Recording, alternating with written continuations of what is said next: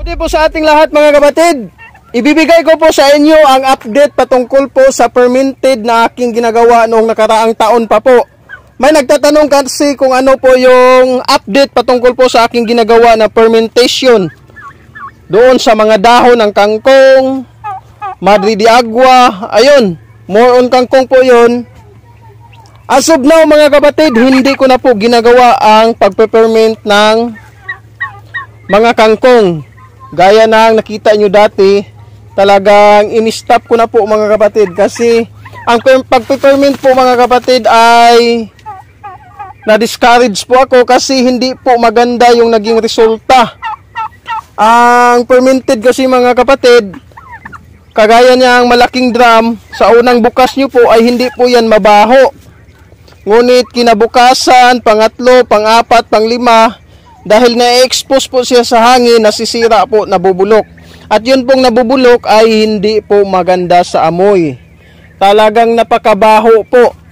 Once hinawakan nyo po pag prepare po kayo ng pagkain ng ating mga alagang pabo, ayun doon po natin ma-encounter ang napakabahong amoy.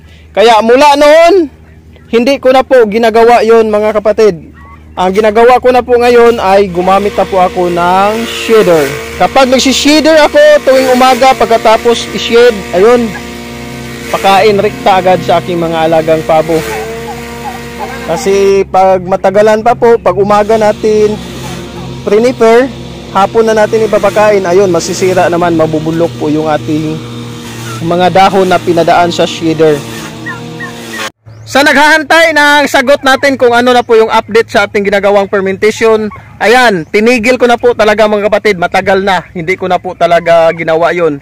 Kung kayo po, kung gusto nyo pong mag-ferment, nasa sa inyo na po, pero para sa akin, hindi po maganda kasi mga ngamoy tae ka talaga mga kapatid. May nagalit pa nga sa akin kasi nagtatanong siya, uh, okay lang ba yung mag-ferment ng mga dahon patungkol sa ating mga alagang pabo? Sinabihan ko po siya, wag na lang kapatid kasi mga nga, nakakahawa ka pa ng ipot dahil natural lang po, nag pag nag-aalaga tayo, talagang makakahawak po tayo ng ipot ng aking, ating mga alaga.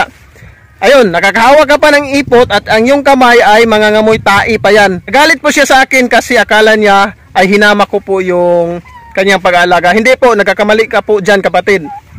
Talagang sinabi ko lang po yung reality sa inyo na mangangamoy tae ka talaga pag gagamitin natin yung fermented, fermented na pamamaraan. Lalo na pag kangkong yung ating ginamit.